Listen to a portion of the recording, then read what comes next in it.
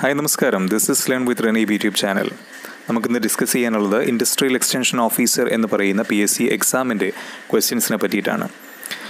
ഇത് എല്ലാ B tech engineering ഡിഗ്രിക്കാർക്കും എഞ്ചിനീയറിംഗ് ഡിഗ്രി ഏത് എഞ്ചിനീയറിംഗ് ഡിഗ്രി എടുത്താലും എഴുതാൻ പറ്റുന്ന എക്സാമാണ് ഇൻഡസ്ട്രിയൽ എക്സ്റ്റൻഷൻ ഓഫീസർ അതുകൊണ്ട് തന്നെ എല്ലാ എഞ്ചിനീയറിംഗിലെയും ക്വസ്റ്റ്യൻസ് ഇതിനകത്ത് എക്സാമിന് ചോദിക്കുന്നതാണ്. Electrical engineering mechanical engineering civil engineering electronics engineering computer science and engineering തുടങ്ങി എല്ലാ ക്വസ്റ്റ്യൻസും ഇതിൽ നിന്ന് ചോദിക്കുന്നതാണ്.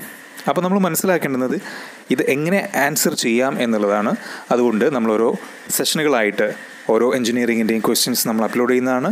ഇന്ന് നമുക്ക് ആദ്യമായിട്ട് ഡിസ്കസ് ചെയ്യാനുള്ളത് ഇലക്ട്രിക്കൽ എഞ്ചിനീയറിങ്ങിലെ ഡി സി മോട്ടോഴ്സിനെ പറ്റി നമ്മൾ കേട്ടിട്ടുണ്ടാകും. മോട്ടോഴ്സിലെ ഡി സി മോട്ടോഴ്സ് ആ ഡി സി മോട്ടോഴ്സിന്റെ ആപ്ലിക്കേഷനെ പറ്റിയിട്ടാണ് പലപ്പോഴും എക്സാമിന് ചോദിച്ചു വരുന്നൊരു ക്വസ്റ്റ്യനാണ് അതുകൊണ്ട് ഓരോ ടൈപ്പ് ഡി സി മോട്ടോറുകളും അതിന്റെ അപ്ലിക്കേഷനുകൾ ഉപയോഗങ്ങൾ എന്തൊക്കെയാണെന്നുള്ളത് നമുക്കൊന്ന് ചെക്ക് ചെയ്യാം. ആദ്യമായിട്ട് നമുക്ക് നോക്കാനുള്ളത് ഡി സി സീരീസ് മോട്ടോറിന്റെ അപ്ലിക്കേഷൻസിനെ പറ്റിയിട്ടാണ് അഥവാ ഉപയോഗത്തെ പറ്റിയിട്ടാണ് എവിടെയെല്ലാമാണ് ഉപയോഗിക്കുന്നത്. അപ്പോൾ ആദ്യം ഉപയോഗം മനസ്സിലാക്കുന്നതിന് മുമ്പായിട്ട് നമ്മൾ അറിഞ്ഞിരിക്കേണ്ട ഒരു കാര്യം എന്ന് പറയുന്നത് ഇതിന്റെ ഫീച്ചർ എന്താണ് എന്നുള്ളതാണ്. ഈ ഡി സി സീരീസ് മോട്ടോറിന്റെ സ്വഭാവം അതിന്റെ പ്രത്യേകത എന്താണെന്ന് മനസ്സിലാക്കി കഴിഞ്ഞാൽ ആ പ്രത്യേകത ഉപയോഗപ്പെടുന്ന എല്ലാ സ്ഥലങ്ങളിലും നമുക്ക് D C series motor use ചെയ്യാം.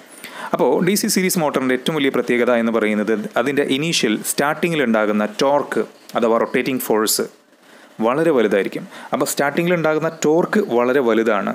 അതുകൊണ്ട് അത്തരത്തിലുള്ള ഉപയോഗങ്ങൾക്കെല്ലാം തന്നെ നമ്മൾ ഡി സി സീരീസ് മോട്ടോറാണ് ഉപയോഗിക്കുന്നത്. ഉദാഹരണമായിട്ട് നമ്മുടെ ട്രെയിനിലുള്ള മോട്ടോർ ഏതാണെന്ന് ചോദിച്ചു കഴിഞ്ഞാൽ ഡി സി സീരീസ് മോട്ടോറാണ് ട്രെയിനിൽ നല്ല ടോർക്ക് സ്റ്റാർട്ടിങ് ടോർക്ക് ആവശ്യമാണ്. അതുകൊണ്ട് തന്നെ അത്രയും വലിയ ഫോഴ്സിലേക്ക് തള്ളണമല്ലോ. ആ ഒരു ടോർക്ക് ഉണ്ടാവണമല്ലോ.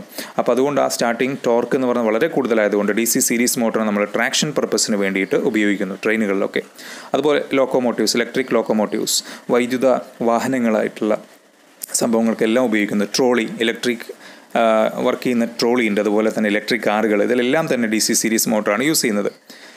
അതുപോലെ നമ്മൾ സാധനങ്ങളൊക്കെ ഉയർത്താൻ വേണ്ടി ഉപയോഗിക്കുന്ന ക്രെയിൻ ഹോയിസ്റ്റ് പോലുള്ളവ. അതിലും നമ്മൾ ഹൈ സ്റ്റാർട്ടിംഗ് ടോർക്ക് ആവശ്യമുള്ളത് കൊണ്ട് തന്നെ D C series motor use ചെയ്യുന്നു. അതുപോലെ കൺവെയർ കൺവെയർ നമ്മുടെ കൺവെയർ ബെൽറ്റ് പോലുള്ള സംഭവങ്ങൾ. ഇതിനെല്ലാം തന്നെ ഹൈ സ്റ്റാർട്ടിംഗ് ടോർക്ക് ആവശ്യമുണ്ട്. അതുകൊണ്ട് ഡി സി സീരീസ് മോട്ടോർ നമ്മൾ ഉപയോഗിക്കുന്നു. അപ്പോൾ ഈ ഉപയോഗങ്ങൾ എന്തൊക്കെയാണെന്ന് മനസ്സിലാക്കിയാൽ തന്നെ അതിന്റെ ആവശ്യങ്ങൾ എന്തൊക്കെയാണെന്ന് മനസ്സിലാക്കിയാൽ തന്നെ നമുക്കതിന് സ്യൂട്ടായിട്ടുള്ള മോട്ടോർ ഇതാണ് എന്നുള്ളത് കൊണ്ട് നമുക്കത് ഉപയോഗിക്കാവുന്നതാണ്. ഏതായാലും ഡി സി സീരീസ് മോട്ടറിന്റെ ഹൈ സ്റ്റാർട്ടിംഗ് ടോർക്ക് എന്നുള്ള ഒരു ഉപയോഗം കൊണ്ടാണ് ഇതെല്ലാം സാധ്യമാകുന്നത്. രണ്ടാമതായിട്ട് നമുക്ക് ഡിസ്കസ് ചെയ്യാനുള്ളത് ഡി സി ഷണ്ട് മോട്ടോറിന്റെ അപ്ലിക്കേഷൻസിനെ പറ്റിയിട്ടാണ്. അപ്പോൾ ഡി സി ഷണ്ട് മോട്ടോറിന്റെ ഉപയോഗങ്ങൾ എന്തൊക്കെയാണെന്ന് മനസ്സിലാക്കുന്നതിന് മുമ്പ് ഡി സി ഷണ്ട് മോട്ടോറിന്റെ പ്രത്യേകതകൾ ഫീച്ചേഴ്സ് എന്തൊക്കെയാണ് എന്നുള്ളത് അറിഞ്ഞിരിക്കണം. ഡി സി ഷണ്ട് മോട്ടറിനെ സംബന്ധിച്ച് അതിന്റെ സ്പീഡ് അപ്രോക്സിമേറ്റ്ലി കോൺസ്റ്റന്റ് സ്പീഡാണ് എന്ന് പറഞ്ഞാൽ ആ മോട്ടോർ ഏതാണ്ട് എല്ലാ സമയത്തും ഒരേ സ്പീഡിലാണ് വർക്ക് ചെയ്യുന്നത്. അപ്പോൾ ഒരേ സ്പീഡിൽ വർക്ക് ചെയ്യുന്നത് കൊണ്ട് തന്നെ അത്തരത്തിലുള്ള ഉപയോഗങ്ങളാണ് ഈ മോട്ടറിന് ഡി സി ഷണ്ട് മോട്ടറിന് ഉണ്ടാവുക. ഇത് നമ്മൾ സാധാരണ ഒന്നാമത്തേതായിട്ട് നമ്മൾ എഴുതിയിട്ടുള്ളത് ആണ്. ലെയ്ത്ത് മെഷീൻ മെക്കാനിക്കൽ ലാബിലും അതുപോലെയുള്ള മെക്കാനിക്കൽ ആയിട്ടുള്ള ആവശ്യങ്ങൾക്ക് ഉപയോഗിക്കുന്ന ലെയ്ത്ത് മെഷീനുകളുണ്ട് ഈ ലെയ്ത്ത് മെഷീന് കോൺസ്റ്റന്റ് സ്പീഡ് ആവശ്യമുള്ളത് കൊണ്ട് D C shunt motor use ചെയ്യുന്നു. അതുപോലെ തന്നെ സെൻട്രിഫ്യൂഗൽ പമ്പ് റെസിപ്രോക്കേറ്റിംഗ് പമ്പ് ഇത്തരത്തിലുള്ള പമ്പുകളിലെല്ലാം തന്നെ കോൺസ്റ്റന്റ് സ്പീഡ് ആവശ്യമുണ്ട്. അതുകൊണ്ട് D C shunt motor use ചെയ്യുന്നു. നമ്മുടെ ഫാനുകൾ ബ്ലോവറുകൾ ഇതിലെല്ലാം തന്നെ ഡി സി കൊടുക്കുകയാണെങ്കിൽ ഡി സി ഷണ്ട് മോട്ടോർ ആണെങ്കിൽ അതിന്റെ കോൺസ്റ്റന്റ് സ്പീഡ് കിട്ടും. നമുക്കൊരു പർട്ടിക്കുലർ സംഭവം സെലക്ട് ചെയ്ത് കഴിഞ്ഞാൽ ആ ഫാന്റെ സ്പീഡ് കോൺസ്റ്റന്റ് ആവണമല്ലോ. അതുകൊണ്ട് നമ്മൾ ഉപയോഗിക്കുന്ന മോട്ടറാണ് ഡി സി ഷണ്ട് മോട്ടോർ ഫാനിലും ബ്ലോവറിലും അതുപോലെ മെഷീൻ ടൂളുകൾ ഉണ്ടാക്കും. മെഷീൻ ടൂളുകളിലെല്ലാം തന്നെ നമുക്ക് കോൺസ്റ്റന്റ് സ്പീഡ് ആവശ്യമാണ്. അതുകൊണ്ട് അപ്രോക്സിമേറ്റ്ലി കോൺസ്റ്റന്റ് സ്പീഡ് കിട്ടുന്ന ഡി സി ഷണ്ട് മോട്ടോർ തന്നെ നമ്മൾ ഇത്തരത്തിലുള്ള പർപ്പസിന് വേണ്ടിയിട്ട് ഉപയോഗിക്കുന്നു എന്നുള്ളതാണ്. അടുത്ത വിഭാഗമാണ് cumulative compound motor D C മോട്ടോറുകൾ സീരീസ് മോട്ടറുണ്ട് ഷണ്ട് മോട്ടറുണ്ട് കോമ്പൗണ്ട് മോട്ടറുണ്ട് കോമ്പൗണ്ട് മോട്ടറിൽ തന്നെ രണ്ടെണ്ണം ഉണ്ട് ക്യുമുലേറ്റീവ് കോമ്പൗണ്ട് ഉണ്ട് ഡിഫറൻഷ്യൽ കോമ്പൗണ്ട് ഉണ്ട്.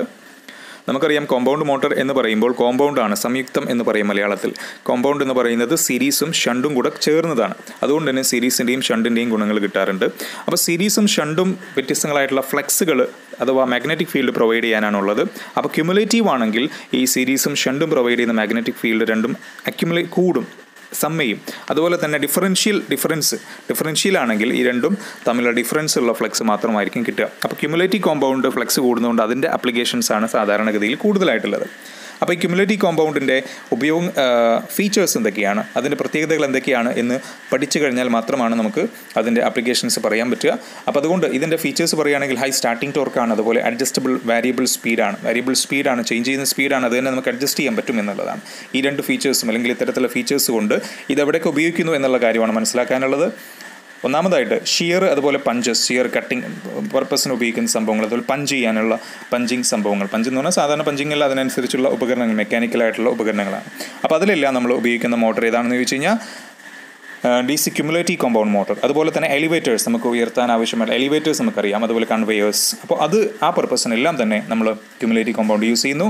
അതുപോലെ ഇന്റർമീഡിയറ്റ് ടോർക്ക് കിട്ടാൻ ആവശ്യമായിട്ടുള്ള പർപ്പസുകളുണ്ട് പ്രിന്റിംഗ് പ്രസ് അത് ഇടയ്ക്കിടയ്ക്ക് ഇങ്ങനെ താഴെ അതുപോലെ തന്നെ ഇടയ്ക്കിടയ്ക്ക് വരുന്ന ടോർക്കുകളുണ്ട് നമുക്കറിയാം. പ്രിന്റിങ്ങിൽ പർപ്പസിലൊക്കെ അറിയാമല്ലോ അതുപോലെ റോളിംഗ് മിൽ ഇവിടെയൊക്കെ നമുക്ക് ഈ ക്യുമുലേറ്റീവ് കോമ്പൗണ്ട് യൂസ് ചെയ്യാം. അതുപോലെ എയർ കംപ്രസർ ഇത്തരത്തിലുള്ള ആപ്ലിക്കേഷൻസിനാണ് നമ്മൾ cumulative compound D C motor use ചെയ്യുന്നത്. Shears punches elevators conveyors rolling mill printing press air compressor okay നിങ്ങൾക്ക് കാര്യങ്ങൾ മനസ്സിലായിട്ടുണ്ടാവുമെന്ന് വിചാരിക്കുന്നു. ഇതുപോലെയുള്ള വീഡിയോസ് ലഭിക്കുവാനായിട്ട് ചാനൽ സബ്സ്ക്രൈബ് ചെയ്യുക. ഈ വീഡിയോ ഇഷ്ടമായെങ്കിൽ ലൈക്ക് ചെയ്യുക. അതുപോലെ തന്നെ നിങ്ങളുടെ ഫ്രണ്ട്സിനെ ഷെയർ ചെയ്യുക. Okay thank